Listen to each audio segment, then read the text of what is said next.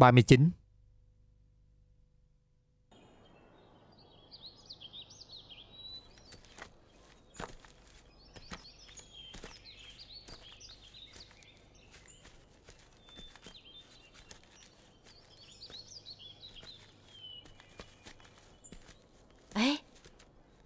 Trong đó hình như có người ở. Hai vị xin mời vào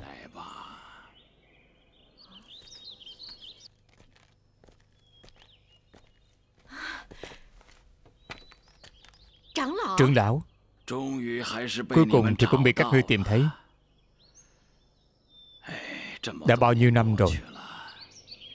Sao hắn còn đến tìm ta chứ? Tìm ông. Trưởng lão, Sao ông lại ở đây? Lẽ ông nói là sao vậy? Không đúng. Hai người không phải là người của Thủy Linh tộc. Rốt cuộc hai người là ai? Trưởng lão, Ông đã quên chúng tôi sao? Chính ông đến nhà chúng tôi đi chế phục thủy linh thú.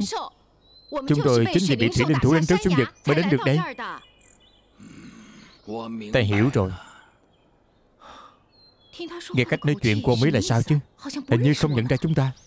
Trưởng lão Ông đừng nói với chúng tôi Là chúng tôi nhận lầm người chứ. Hai người đúng là nhận lầm người rồi. Tôi là trưởng lão tiền nhiệm của Thủy Linh tộc. Cũng là ca ca của trưởng lão Thủy Linh tộc hiện nay Hai huynh đệ tôi rất giống nhau. Nhất định là cô tưởng tôi là đệ ấy rồi. Thì ra ông là ca cao mấy à? Vậy tại sao ông có nguồn nước? Lại không để cho người của Thủy Linh tộc đến đây lấy chứ? Chuyện này kể ra thì dài dòng lắm. Lại là kể ra thì dài dòng. Lúc ta còn là trưởng lão của Thủy Linh tộc, Một hôm, Đột nhiên trong tộc xảy ra phản loạn.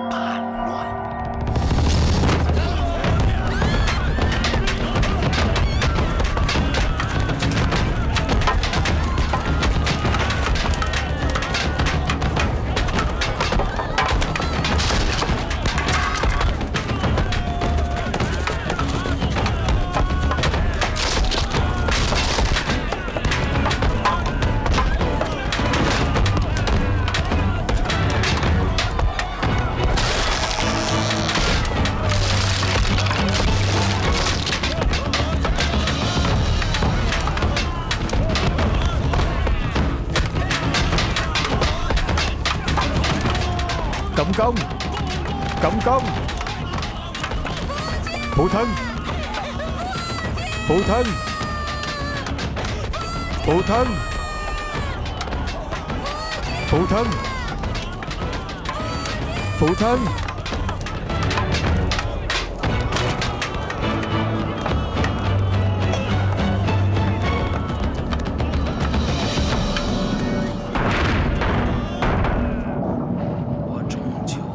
Cuối cùng tôi cũng bị kẻ địch đuổi theo. Bị ép đến bờ vực. Tôi chỉ có thể nhảy xuống.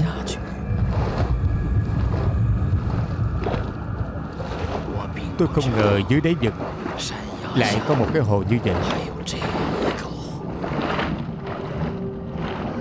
Tưởng rằng là chết chắc rồi. Nhưng lại không nghĩ rằng Lại phát hiện dưới đáy hồ lại có một cái động thật.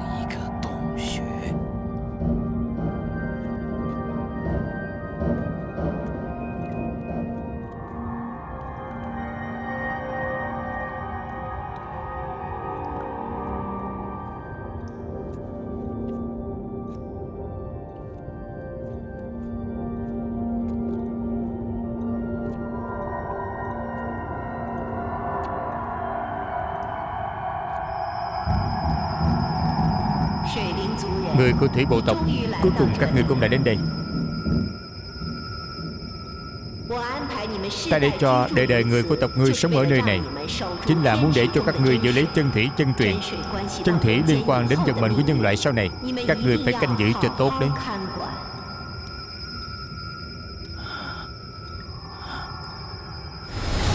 Nghe xong mệnh lệnh của nữ hoa đại nhân, Ta mới biết vận mệnh cao nhất của thủy linh tộc chúng ta chính là canh giữ chân thủy. Từ đó, ta đã sống ở đây. Canh giữ chân thủy này. Vậy thủy linh tộc sau đó thế nào? Tình hình sau đó, Ta cũng biết được chút ít. Phản loạn cuối cùng cũng đã được dập tắt.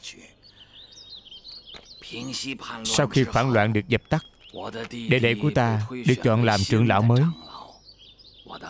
Đứa con trai cộng công của ta Luôn cho rằng Cái chết của ta có liên quan đến trưởng lão mới. Vì sao không cho mặt giải thích? Bản tính cộng công không xấu. Trước sau Nó cũng sẽ hiểu thôi. Trên người ta còn có sứ mệnh rất quan trọng. Cho nên từ đó ta không thể rời bỏ chỗ này nữa. Trương lão Ý ông là chân thủy ở chỗ này à? Cũng có thể nói như vậy Chân thủy ở trong thiên trì. Nơi này liên kết với thiên trì không xa đâu. Chân thủy có chuyện gì? Ta ở đây cũng có thể cảm nhận được.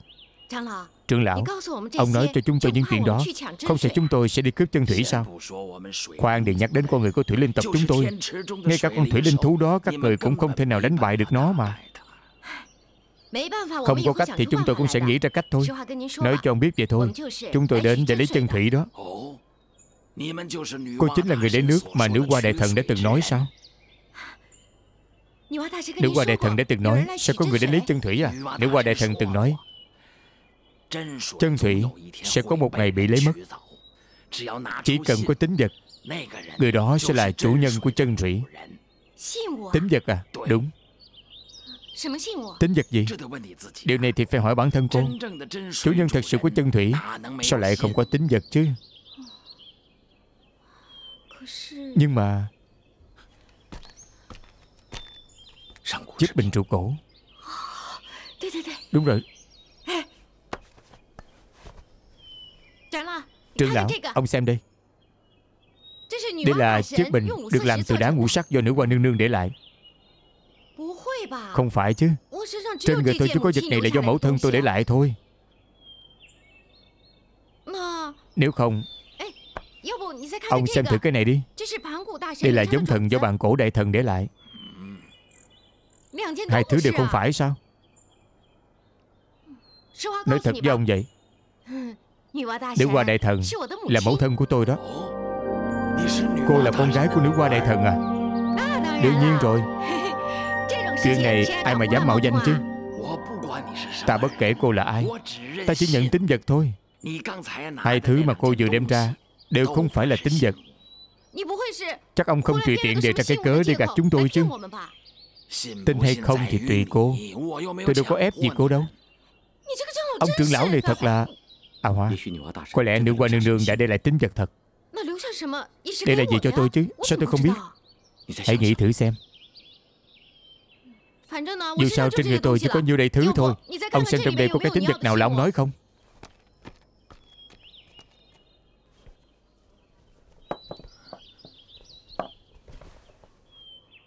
Tôi chỉ có nhiêu đây thôi. Ông xem thử là cái nào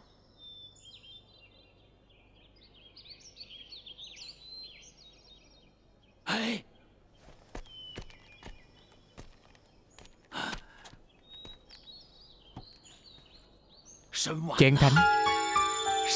Chén thánh. Trường lão Ông nói cái chén đó chính là tính vật à? Đúng. Đây là chiếc chén thánh Bên cạnh người nữ hoa nương nương. Không ngờ Trong những ngày ta còn sống Còn có thể trông thấy lại nó. Trường lão Nếu như có tính vật rồi Ông đi chân thủy cho tôi đi. Chân thủy ở trong thiên trì ở chỗ tôi không có mà. Vậy ông Tôi chỉ theo hai người đi lấy chân thủy. Bây giờ tôi sẽ đưa hai người rời khỏi đây.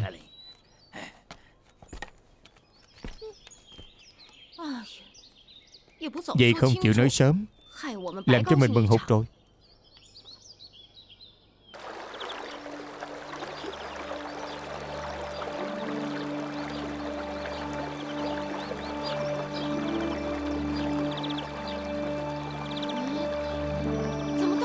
Sao đến đây là hết đường rồi? Nơi đây vốn là tuyệt cảnh, Không có đường ra. Trương lão, Chuyện này rốt cuộc là sao? Tôi có thể dùng pháp lực Để đưa hai người lên trên. Mỗi một trưởng lão của thủy linh tộc đích tôn Đều có năng lực này. Vậy còn trưởng lão hiện giờ? Để ấy không phải đích tôn. Không được. Cộng công cũng có năng lực này. Chỉ là nó không biết sử dụng thôi. Hoa thần tiên tử Ta muốn nhờ có một chuyện. Chuyện gì? ông cứ nói đi. Công công là người kế thừa của thủy linh tộc. Nhưng tính tình quá nóng nảy. Mong rằng tiên tử Có thể dạy dỗ cho công công giúp ta vậy.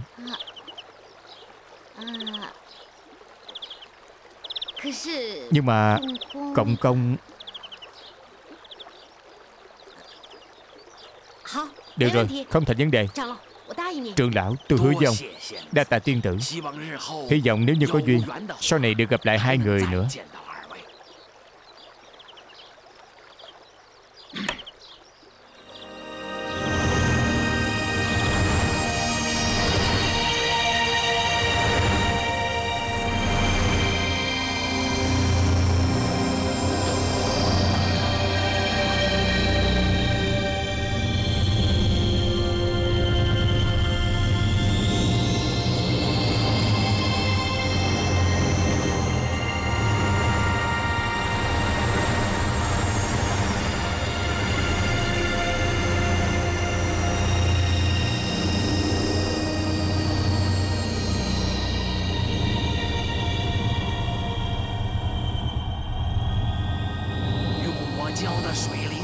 Những gì thuộc về thủy linh thú,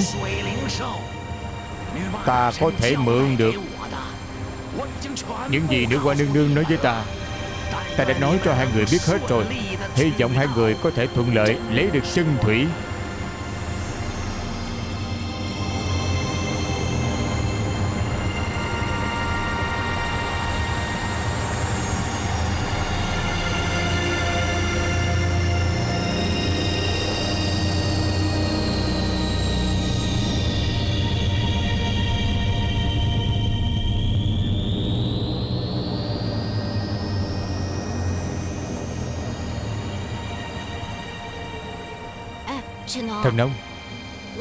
Muốn nói với Huynh chuyện này.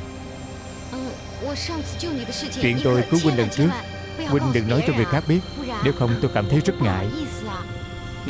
Cô cũng biết tôi không phải là người nhiều lời mà. Và lại lúc đó Cô chỉ muốn cứu tôi thôi. Kỳ lạ thật. Sao tôi hôn Huynh Mà mặt tôi còn đỏ. Tim tôi còn đập nhanh nữa. Là chuyện trước đây chưa từng có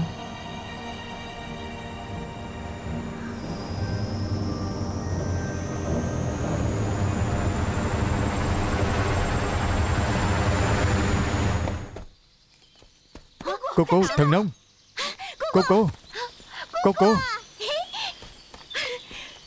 Cô cô. Gặp lại cô cô thật vui quá. Đã nói bao nhiêu lần rồi. Đừng có gọi ta là cô cô nữa. Ở đây là nhân gian mà Gọi là hoa tỷ. Cô biết hay không?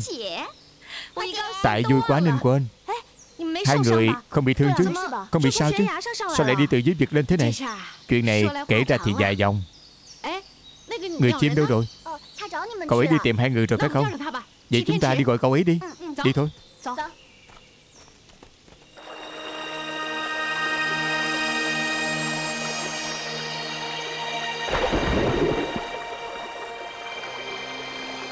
Hoa tỷ Chúng ta làm vậy có được không? Được hay không thử là biết ngay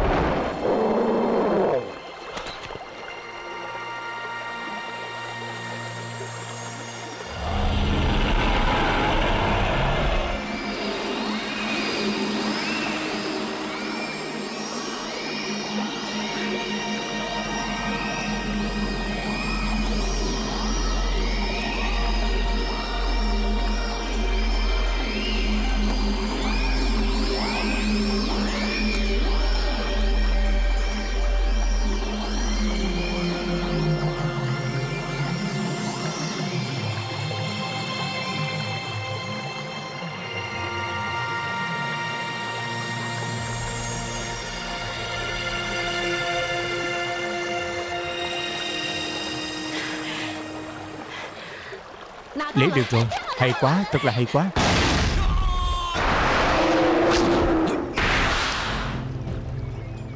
Công công, Thì ra con vẫn còn sống à? Sao ta có thể chết được?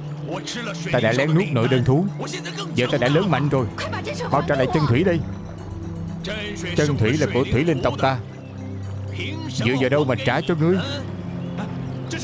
Đó là do trưởng lão đã đồng ý. Lão ta là cái thá gì? Con người ngươi thật là Giúp ngươi rồi còn muốn lật lọng mà Còn muốn cản trở chúng ta lấy chân thủy sao?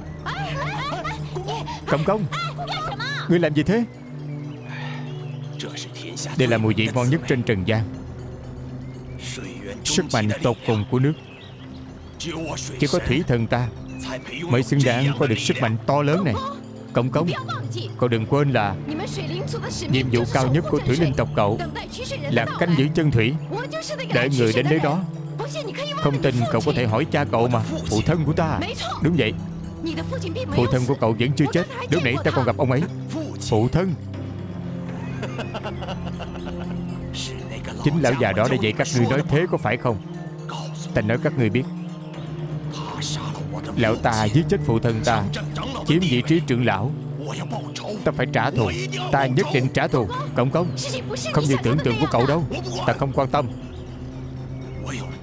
Có được chân thủy, Ta không chỉ có thể báo thù, Mà ta còn nắm giữ cả nhân gian này. Giả tâm của cộng công quả nhiên không đơn giản. Đừng. Đừng uống mà.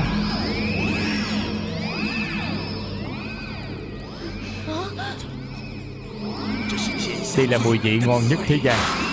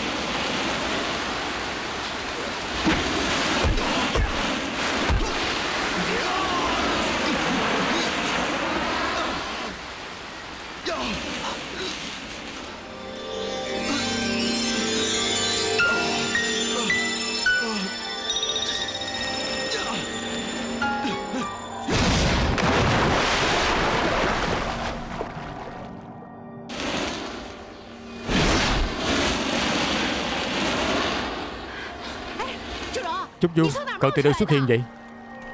Hoa tỷ. Thần Nông Tiên Sinh Sau khi rời khỏi Hoàng đế Thành Tôi đã không quay về Nam Nhạc Mà là đi du lịch. Lần trước lúc ở Tây Nhạc Tôi nghe quyền minh nói Công công của tộc đệ ấy rất lợi hại. Tôi sẽ muốn đến để tỷ thí. Không ngờ lại được tỷ thí thật. Và càng không ngờ lại được gặp mọi người ở đây. Hoa tỷ. Vậy hiện giờ chúng ta không có chân thủy Phải làm sao đây Công công dựa vào nội đơn hộ thể của thủy linh thú. Để còn cố gắng nuốt chân thủy. Cậu ta sẽ không hấp thụ được bao nhiêu sức mạnh của chân thủy đâu. Giờ thì chân thủy còn lại trong người công công. Chúng ta phải nhanh chóng tìm cách tìm được cậu ta. Vậy hắn ta chạy đi đâu? Vậy đi. Chúng ta về chỗ của Thủy Linh Thông trước. Gặp trương lão xem có manh mối gì không? Đi.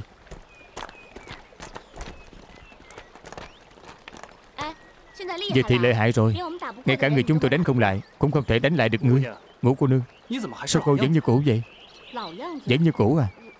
Tôi thì sao? Miệng thì không tha cho ai.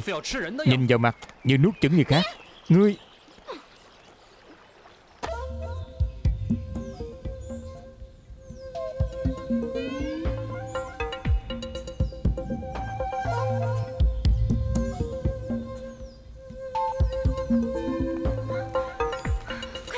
Nhanh lên Sao lại yên tĩnh vậy chứ?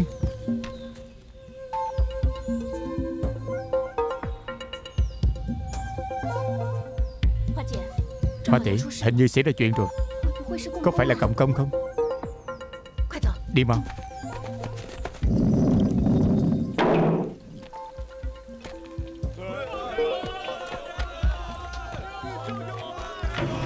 Cứu chúng tôi với. Cứu chúng tôi với. Hoa thần tiên tử? Chúng tôi đợi cô rất lâu rồi. Hùng móng. Hoa thần tiên tử? Còn nhớ ta sao? Ngươi hại hàng Nga và hậu nghệ phải chia ly. Hôm nay ngươi tự đến chịu tội à? Muốn bắt ta? Không dễ đâu. Hoa thần tiên tử? Giao chân thủy ra đây.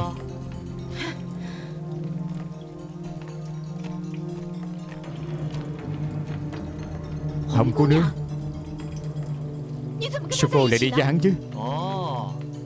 Ta quên là thiên sứ giả Và hoa thần tiên tử là bạn thân cũ của nhau. Thiên sứ giả, Cô khuyên bạn cũ của mình đi. Hồng cô nương, Cô trở thành thiên sứ giả. À Chủ nhân ta sắp thống trị lưỡng giới thiên địa. Thuộc hạ của chủ nhân có ba vị sứ giả. Ta là thiên sứ giả. Hắn là nhân sứ giả.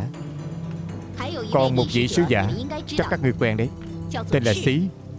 Cũng chính là ôn thần。Chính là người đã cứu cô sao Đúng Có phải hắn tạo ra mười mặt trời không？Đúng。Thực sự hắn là ai Thiên sứ giả。Chủ nhân không muốn người ngoài biết nhiều chuyện như vậy？Hoa thần tiên tử。Ta khuyên cô hãy giao chân thủy ra đây。Tất cả những người này Sẽ được giữ lấy mạng sống。Bằng không Mọi người bao ra khỏi đây。Người thủy linh tập chúng tôi Không bao giờ chịu uy hiếp cả。Trưởng lão Lão già, cẩn thận, Ông sẽ là người bị mất mạng đầu tiên.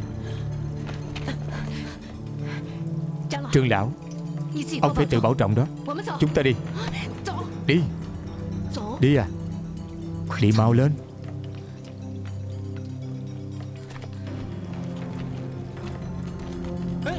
Các người nếu hắn xông ra đây Chúng ta vào cứu người.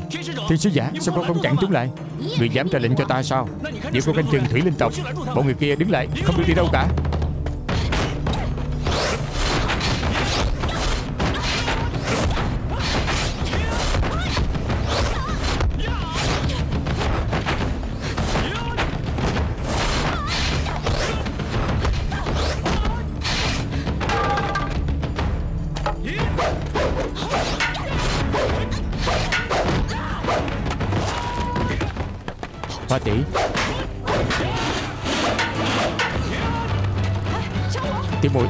Muội ở chăm sóc ấy, Ta đi cứu người. Tỷ tỷ không sao chứ, Không sao. Mùi xem chút vui vừa muốn cứu bụi mà liệu cả thân mình kìa. Một tên lộ mạng Đánh nhau mà không biết đàn bà.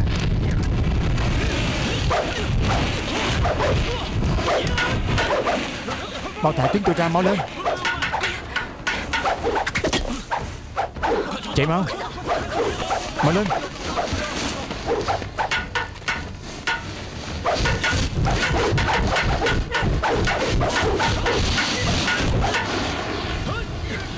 Thiên sứ giả Không mau giúp ta. Được Ta đến giúp ngươi.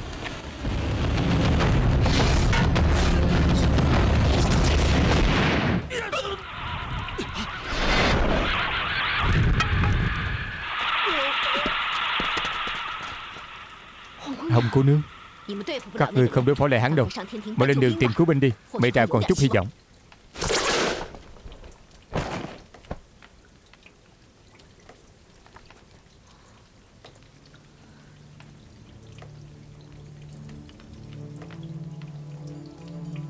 Đều đưa câu chuyện là như vậy? Hiện giờ công công đã nuốt nội đơn của thủy linh thú. Cộng thêm uống mất chân thủy Đã trở nên vô cùng đáng sợ. Cho nên ông phải cẩn thận đó. Cái gì đến rồi sẽ đến thôi. Nó muốn giết ta Cũng không phải là chuyện ngày một, ngày hai. Trưởng lão, Ông có biết Cộng công có thể trốn ở đâu không? Từ ngày Thủy Linh tộc xảy ra phản loạn Công công chưa có rời khỏi ta nửa bước. Ta biết là Nó muốn được chính tay giết chết ta. Không muốn ta xảy ra bất trắc gì. Nó cũng không có chỗ nào thường đi ở khu gần đây. Muốn tìm nó E rằng rất khó. Dù khó cách mấy, Chúng tôi phải tìm ra cậu ấy để lại chân thủy Hoa thần cô nương. Cô giúp cho thủy linh tộc chúng tôi Tìm được nguồn nước mới. Lại cứu chúng tôi ra. Tôi không có gì đền đáp cô nương. Hãy để cho ta bói một quẻ cho cô nương vậy. Ông thực sự có thể tính được chuyện tương lai à? Thuật bói toán của thủy bộ tộc chúng tôi Đời đời tương truyền. Có linh nghiệm hay không? Sau này cô sẽ biết thôi.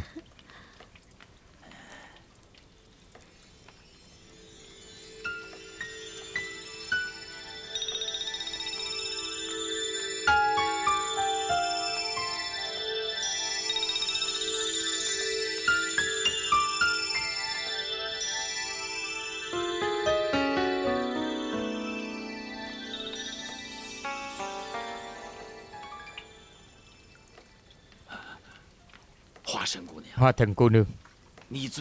Thời gian gần đây Cô sẽ gặp một tai kiếp rất lớn. Cô phải cẩn thận đó.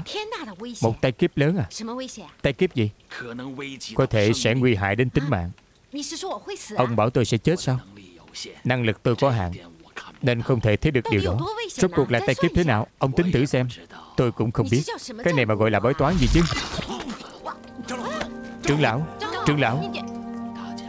Mọi người không cần sợ hãi Thuật bói toán của thủy linh tộc ta, Dùng tuổi thọ làm vật. Ta già rồi, Không sống thêm được bao lâu nữa. Không sao đâu. Sao ông có thể lấy tuổi thọ của mình để bói cho tôi chứ? Đó là do ta tự nguyện mà. Đáng tiếc, ta không phải là trưởng lão đức tôn. Không có năng lực đặc biệt đó. Nếu không, Ta còn có thể xem tường tận hơn. Nhưng ta vẫn trông thấy được một số việc. Hoa thần cô nương. Không. Ta nên gọi cô là hoa thần tiên tử. Cô không phải là người trần, Là đến từ thiên đình. Ông cũng có thể thấy được thiên đình à Thiên đình bây giờ đã sao rồi? Ta cũng không biết. Thiên đình ta trông thấy là trống rỗng. Trống rỗng? Phải. Ngoài hoa thần tiên tử cô ra Tôi không trông thấy bất cứ người nào khác cả. Không đúng. Trên thiên đường còn có mẫu hậu, Thiên minh thiên tướng. Còn có rất nhiều thần tiên. Sao bảo là không có ai? Trường lão có ý tốt. Các cô bảo Ngọc Đế cẩn thận một chút là được. Quyền Minh Ngu Cương. Hai người ở lại bảo vệ mọi người. Chúng tôi đi tìm Cộng Công. Đi thôi. Đi. Thả ta ra.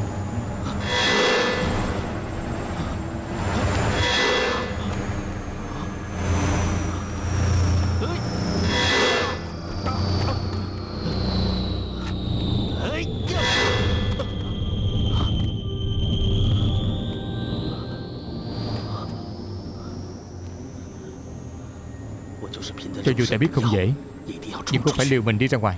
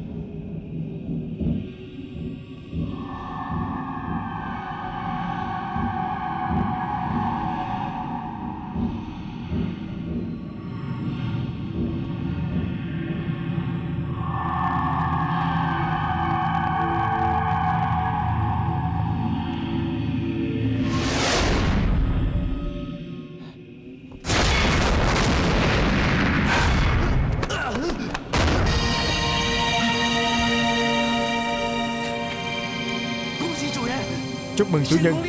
Thần công luyện thành rồi. Chúc mừng chủ nhân. Ngươi tìm ta có chuyện gì? Dạ. Thưa chủ nhân, Thiên sứ giả đã quay về rồi.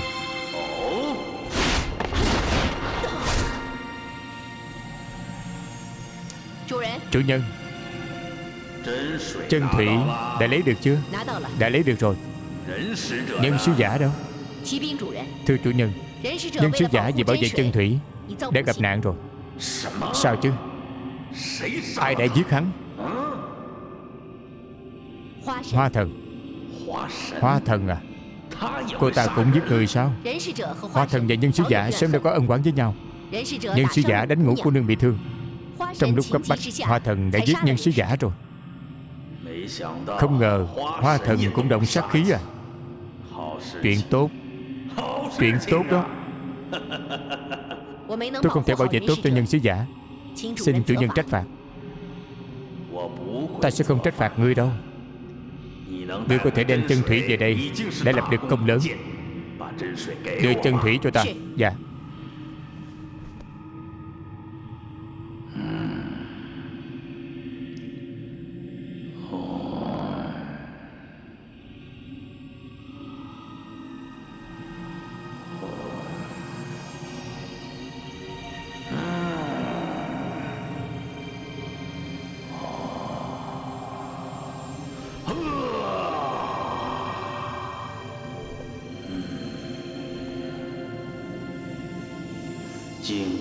thổ và chân thủy hợp lại với nhau, bằng cổ đại thần mới Thiên sư giả, đi đường mệt mỏi. Đi nghỉ ngơi đi. Thuộc hạ còn có việc muốn thỉnh cầu. Việc gì? Lẽ lịch và mục đích cuối cùng của chủ nhân. Có thể nói cho thuộc hạ biết không? Cái gì? Ngươi đã hỏi điều không nên hỏi rồi. Ta nghĩ là ta biết rồi. To gan, Sao ngươi dám nói chuyện như vậy với chủ nhân?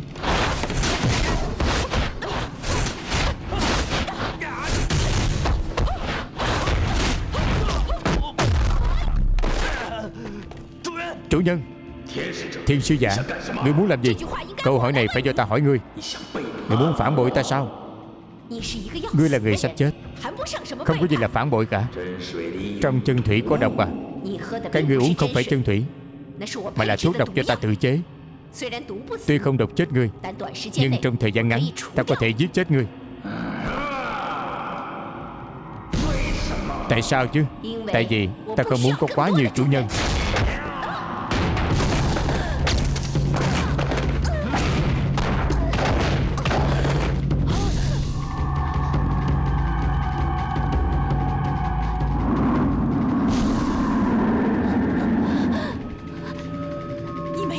Không trúng độc à? Lúc ngươi bước vào, Ta đã biết ngươi không có chân thủy Ta chỉ hiếu kỳ, Rốt cuộc ngươi muốn làm gì? Thuốc độc của ngươi Không hề có tác dụng gì với ta đâu. Nếu như điều ngươi muốn nói đã nói hết, Giờ đến lượt ta hỏi ngươi. Chân thủy ở đâu? Ta sẽ không nói cho ngươi biết đâu. Ngươi có thể cự tuyệt được ta không? Muốn đánh thì đánh. Người đã hiến linh hồn cho ta. Ngươi còn có quyền để lựa chọn sao? Nói cho ta biết, Chân thủy ở đâu?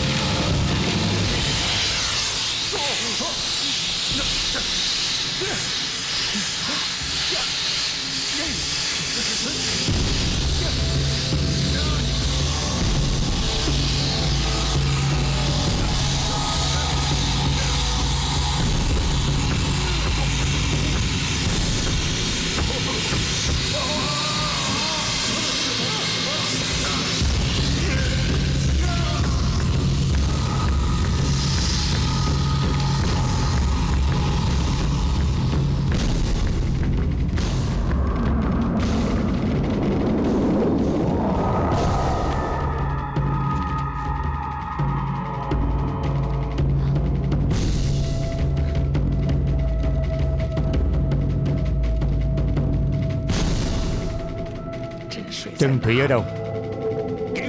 Đưa cho ta. Đưa cho ta. Ngoan ngoãn giao chân thủy cho ta.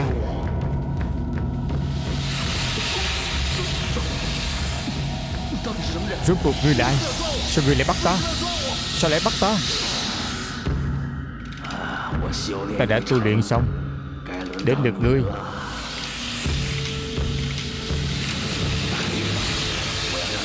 Để ta cho ngươi xem nhục thân mới của ta. Mau ra đây Mau ra đây người mau ra đây.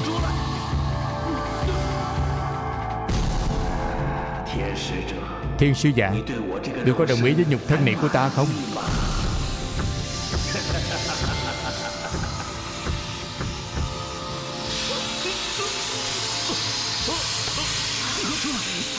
Người mau ra đây.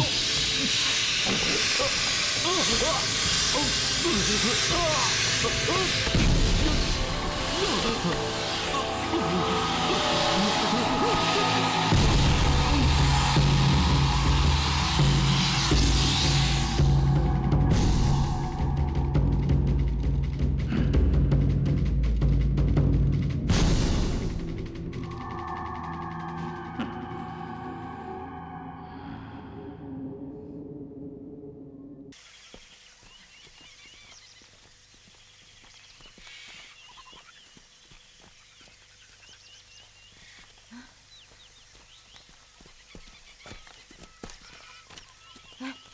Thần nông Huynh nói công công thật sự có thể trốn ở đây sao?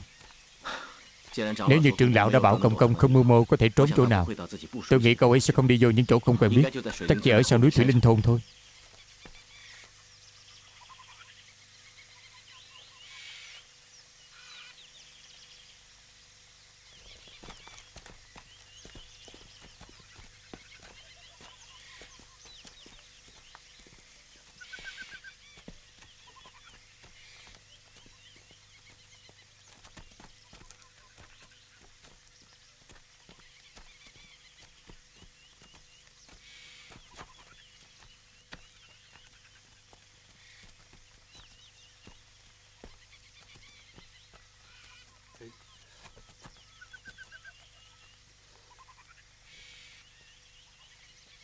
Hoa tỷ? Mọi người qua đi xem đi.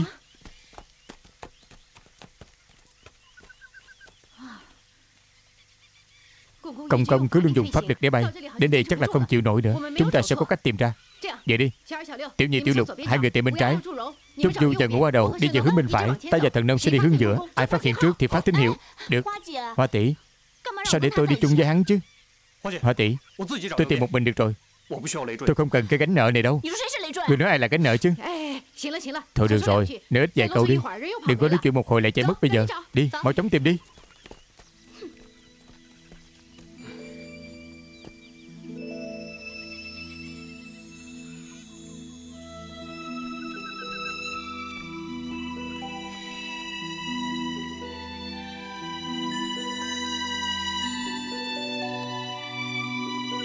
Chúng ta mà này đi tìm Đừng có làm phiền ta nữa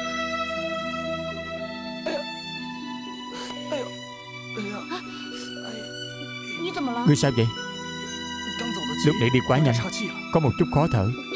Ngươi không sao chứ? Chẳng phải lúc nãy cô nói mà nay nếu tìm sao? Ngươi khốn kiếp. Tôi là gì? Tôi nghĩ trong lòng cô hiểu rõ. Công công không giết chết ngươi. Phong mông cũng không giết chết ngươi. Nên ta thấy là đáng tiếc thật đấy. Thật sao? Lát nữa Công công sẽ đánh ngươi bẹp dí dưới đất. Ngươi đừng mong ta sẽ đến giúp ngươi. Vậy thì không có gì. Nhưng nếu hắn dám động đến một ngón tay của cô, Tôi sẽ liều mạng với hắn. Không cần. Đúng. Cũng phải thôi. Cô là ngũ công chúa của thiên định Chứ đâu phải là công chúa của Trúc Du ta đâu. Ngươi dựa vào đâu mà liều mạng cứu ta chứ? Tôi thích. Ta không thích. Cô không thích. Đó là chuyện của cô. Chuyện đó không liên quan tới tôi. Cô không quản tôi. Nhưng tôi nhất định phải quản cô. Đi nào.